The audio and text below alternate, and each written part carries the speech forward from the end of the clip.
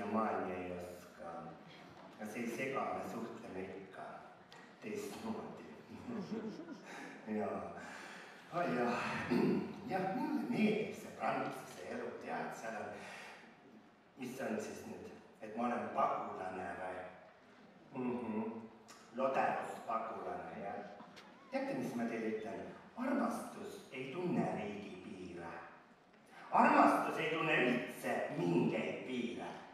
Jaa, on olemas ladevuspagulased, need pagulased, teised pagulased, mina olen armastuspagulane muide. mina põgenen Eesti mehe eest.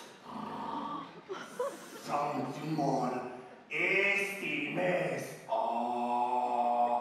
Eesti mees tuleb taevas appi. teate, see Eesti mees on samasugune nagu nagu Eesti kopsas. Lihtsalt üks suur jurokas.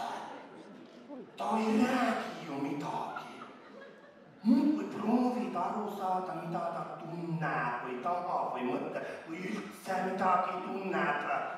muudkui proovid ja proovid, vahel proovid heaga, siis läheb kallale käsiti, raputad, ega ikka mitte midagi ei tule sealt, noh uurid ja uurid seda Eesti meest, kiht-kiht, leht-leht, nii nagu kapsaski ja sisuni ei jõua kuidagimoodi